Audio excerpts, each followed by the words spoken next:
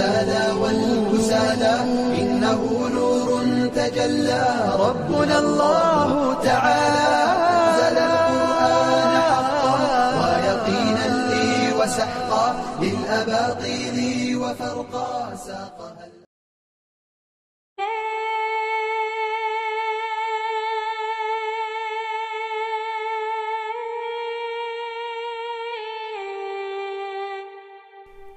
British India, also historically known as the British Raj, occupies a very significant historical era in the history of the world. The rule of the British Empire over the vast estate and population in the Asian subcontinent commenced in the year 1858, ending in 1947.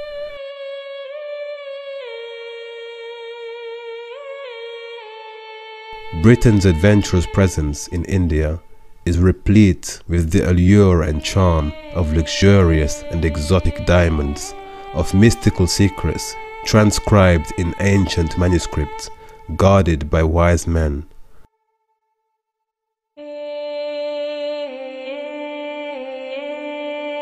What is not so well celebrated, however, is the undercurrent of heroic efforts made by Indians of all faiths and conviction to rid themselves of the common oppressor and the exploitative stranglehold of the British administration.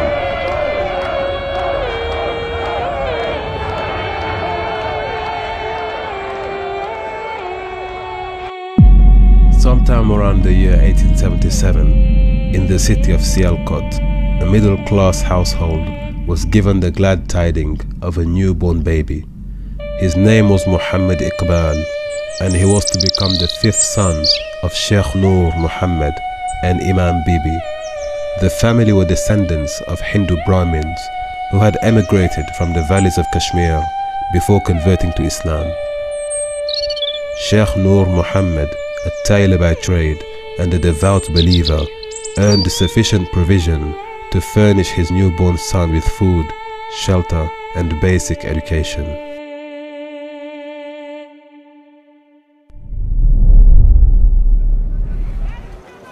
Like many of his contemporaries in the Indian Muslim society of his day, Muhammad Iqbal received his formal education at a local maktab.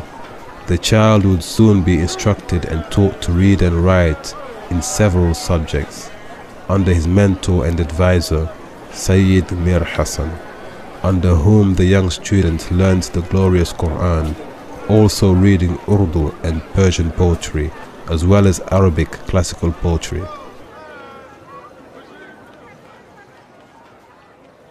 The glowing intellect of Iqbal had kindled hope and anticipation in the mind of his teacher, who saw it fit to encourage the boy's parents to send him to a state school for a modern education. Later on, he attended many other institutions, wherein he successfully earned a diploma from the faculties of art at Murray College followed by a Bachelor of Arts in Philosophy from the Government College in Lahore, where in the year 1897 he completed his studies in English literature and the Arabic language.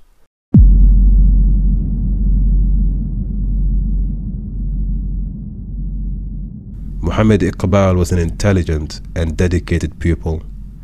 Soon after earning an honors degree in Arabic and English literature, followed by his master's degree in philosophy, the young scholar, only 23 years of age, became a lecturer teaching Arabic at the Oriental College in Lahore.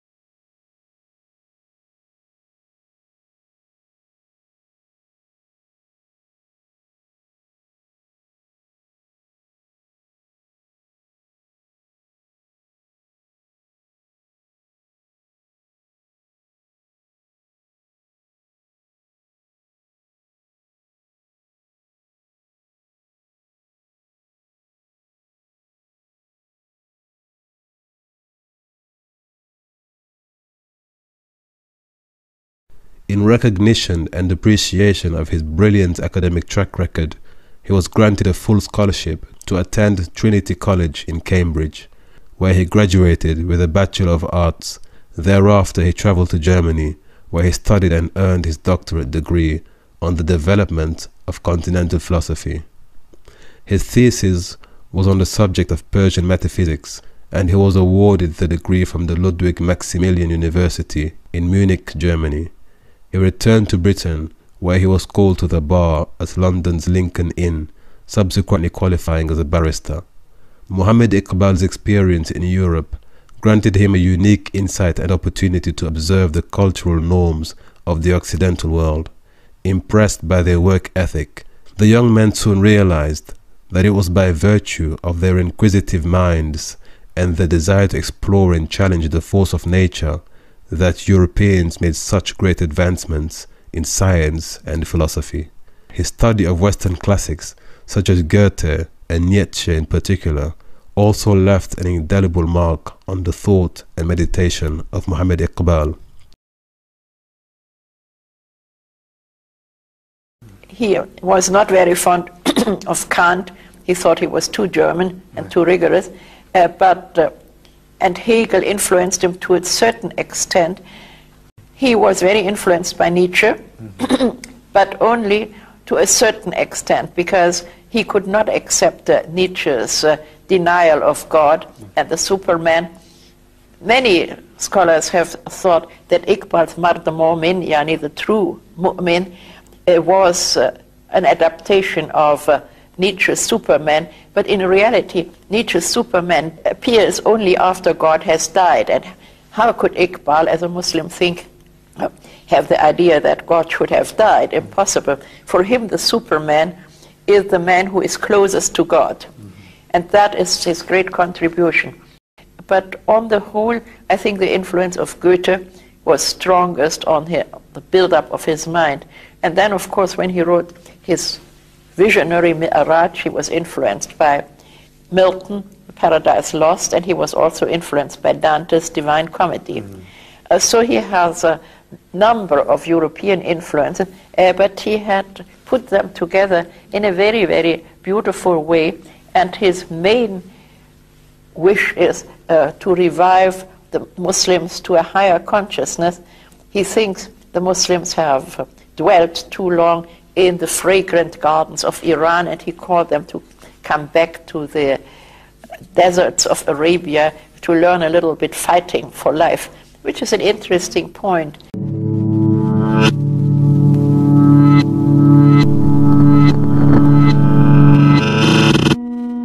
However, despite these materialistic developments, he lamented the fact that Europe was still severely stricken by the malaise and maladies of inborn racism, extreme materialism, and a prevalent culture of competitiveness, exasperated by popular theories such as Darwin's survival of the fittest.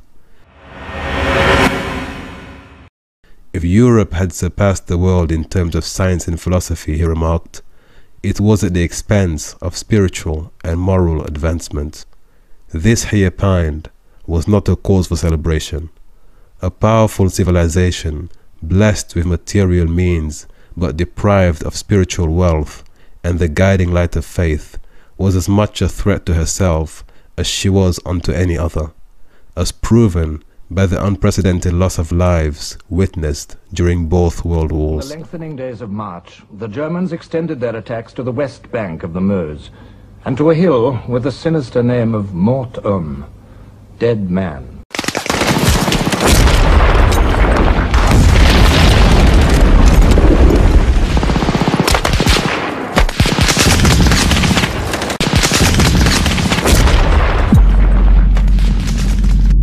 As the Ottoman Caliphate was on its deathbed and the Muslim world experienced the degenerative effects of stagnation, subjugation, and hopelessness, Muhammad Iqbal's nationalistic affection dissolved as he contemplated and mused about all the factors, both internal and external, that had conspired and contributed towards the gradual downfall of the Muslim Ummah. Thus, during a transformative and critical period in the life of Muhammad Iqbal, his thoughts were reconnected with the faint yet still beating heart of the Muslim civilization. He began concentrating intensely on the study of Islam, expounding on the cultural and historical importance of Islamic civilization in an attempt to resuscitate the heartbeat of a once proud and glorious people.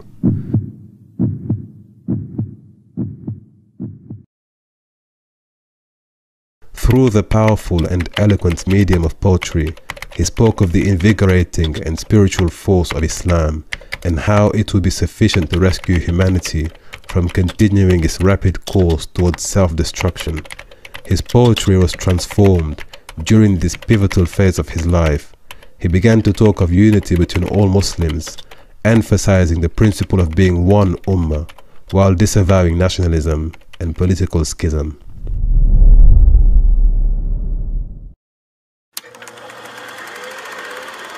Muhammad Iqbal returned to his homeland in the year 1908, joining his old college as a professor of philosophy and English literature. However, driven by the dissatisfaction of working under the British administration, he began practicing law on a temporary basis, making enough to support himself and his family.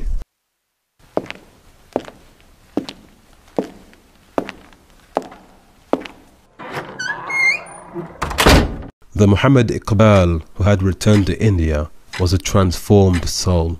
His literary activities began to overshadow all other pursuits as he dedicated more of his time and efforts towards the composition of poetry, for which he soon captivated the attention of the nation when he wrote his famous poem, Shikwa, in the literary form of a complaint directed to God.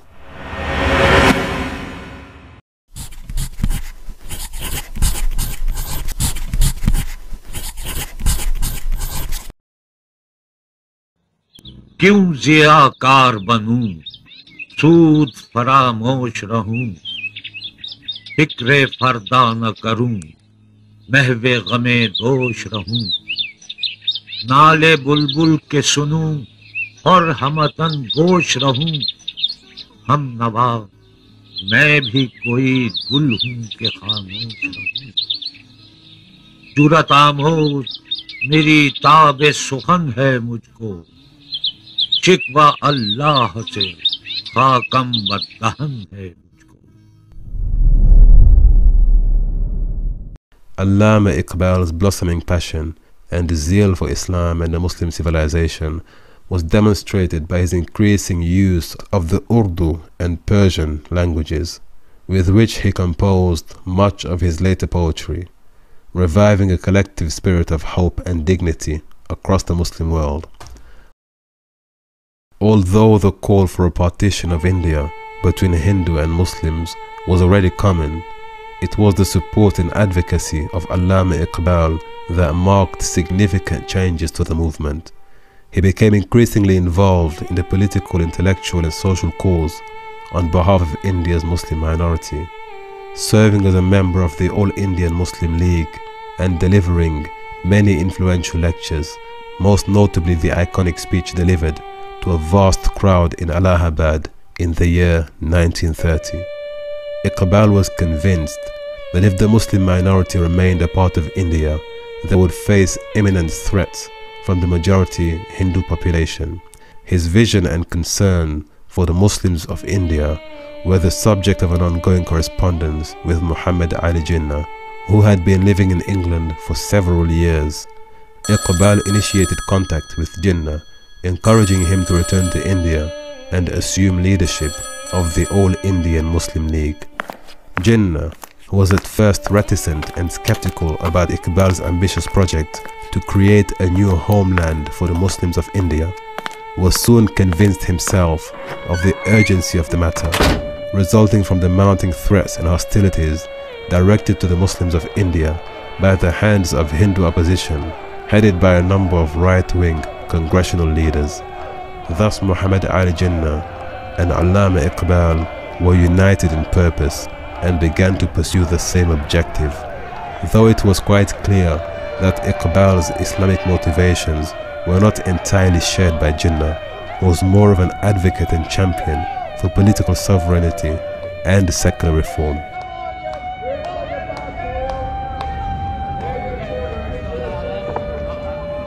Muhammad Iqbal was the poet and thinker who used his pen to transform the hearts and hopes of a nation under siege, rescuing it from the dangers of ineptitude and ignorance of self. He was also distinguished for his philosophical and academic contributions, particularly on the core concept of khudi, which can be loosely translated as the ego, and has often been compared to Nietzsche's concept of a superman. His first major work in Persian was the Asrar al-Khudi, uh, the mysteries of the self. Khudi is a word which is very difficult to translate. It had usually a negative connotation in Urdu and Persian as selfishness, egotism, but in Iqbal's work it becomes the essence of the human being, which should be developed uh, in a positive way. His services and counsel were sought far and wide. In fact, it is well documented that Mahatma Gandhi had invited Iqbal to serve as a teacher in one of India's institutions, and that by the year 1922, Muhammad Iqbal had received a knighthood from King George of Great Britain, who conferred upon him the prestigious title of Sir Muhammad Iqbal.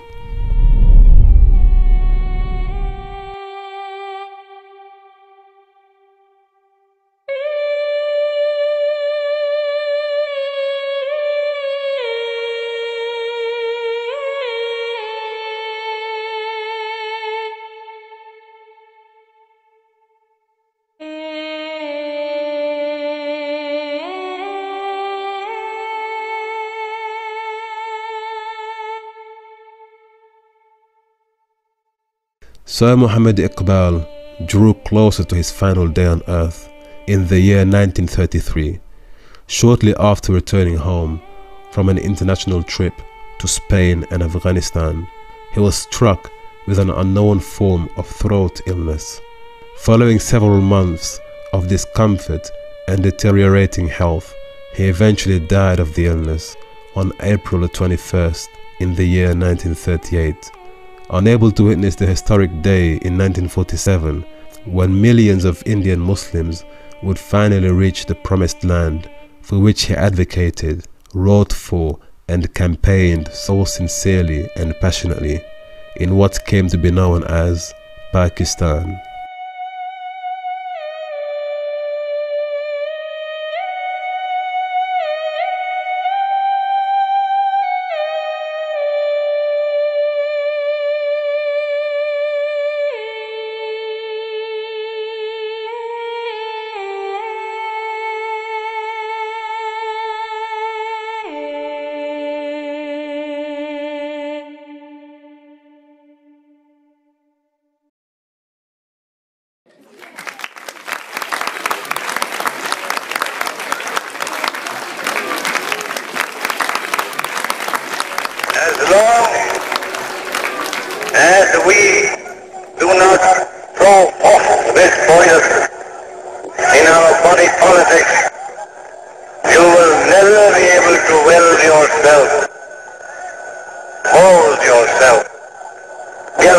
Yourself into a real, true nation.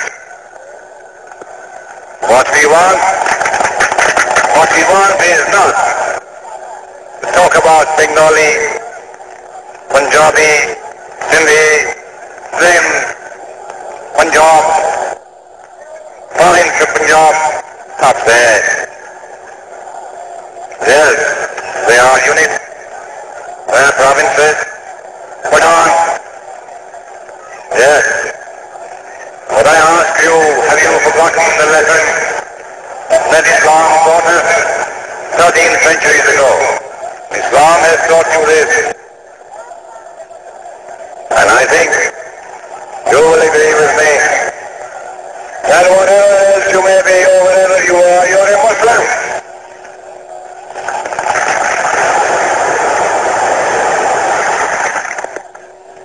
That you belong a nation.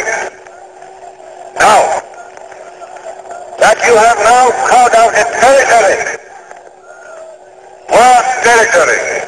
It is all yours. It doesn't belong to a Punjabi or a Bengali or a Sindhi. It's yours.